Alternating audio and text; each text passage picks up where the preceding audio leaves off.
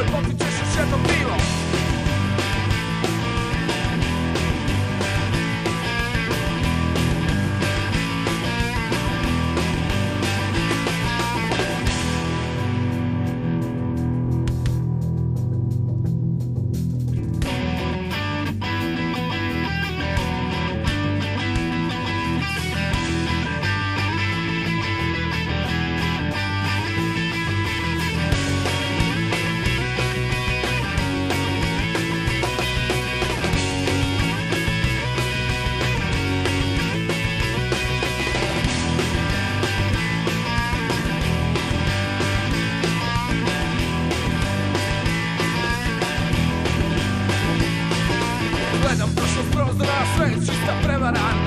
za ovih zgrada možda nema toliko jada.